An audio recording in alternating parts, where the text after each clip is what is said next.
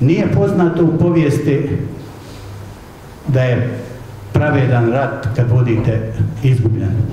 Pravedan rat se dobiva u konačnici. Možemo stradati u nekom periodu, ali u konačnici mi smo pobjednici.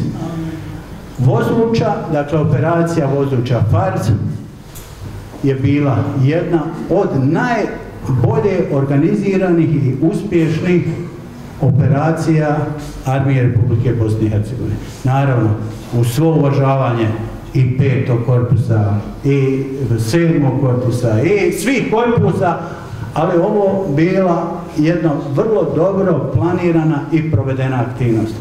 Ako vam samo kažem za objekat Blizna, ako nekad odete u Zavidoviće, pogledate, a znaju ovi neki saborci su već bili tamo, to je u suštini osloboditi bilo vrlo teško. Haris je bio sa svojim vojnicima 92. godine, pa su morali zbog jake artiljerijske vatre i tako sići. Seo vam je rekao, mi smo, evo bio je tu i Taško i sedma muslimanska, mi smo bliznu oslobodili bez ljudskih žrtava. I to je veličina vojnika, oficira i komandanta. Zato ja vas još jednom molim, cijenite svoje komandante. Cijenite svoje komandire četa, komandante bataljona, cijenite svoje komandante brigada, cijenite, to su ljudi koji su organizirali i vodili ljude. Evo, ne, ima komandanata bataljona da nisu ranjeni. Mislim se da je šest puta ranjen. Izvini se ako sam pogriješio, ali mislim da šest puta da je, da je ranjen. To su ljudi koji su bili tu. Naravno, nemojte da idealiziramo, imamo mi puno slabosti, ali cijenite ono što smo mi uradili. I evo, da ne duljim tu stvar, ja vas pozivam, iduće godine 25 godina od oslobođenja vozuća. Da nas tamo bude 10.000.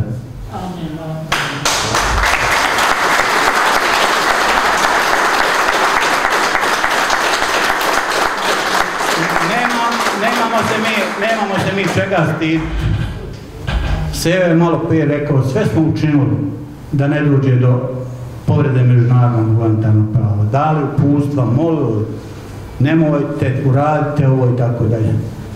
Mi smo 265 živih zarobljenih četničkih vojnika predali. Znači mi smo u operaciji Voduće zarobili 265 vojnika živih i zdravih i predali smo ih nazad. Bilo je tu dakle i nekih neodgovornih pojedinaca, nažalost zbog kojih ja moram evo da vodim četiri, ušlo je u petu godinu jednu borbu, da sačuvam i vaš i svoj obraz. Bilo je jedno teško stanje, nismo nigdje odčepili ono, kako se kaže, i u razgovoru sa Rahmetli predsjednikom sam mu rekao mi ćemo predsjedniče osloboditi vozuća. On je malo bio ovako u nevjerici. E, kare, ako je oslobodite, ja ću doći, bez obzira na sve državne ovaj, obaveze.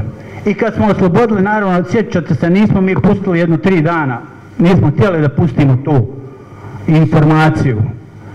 A on je to čuo i kaže, eto mene, osam sati je putovao, došao i čestitao. Nije, praktično nije mogao da vjeruje, vidjet ćete iz onog razgovora, tamo on kaže, šta da radim, da ovdje izbjeglice naselje, šta ako ih napadnu i tako dalje, ponovo i tako dalje. Mi smo tada rekli, predsjedniče, evo nas, mi ćemo svi izginuti, mi ćemo sačuvati ovo ovdje. I to je bila njegova pohvala i zato je govorio, vi ste ovdje urnik, pokazali ste kako u stvari treba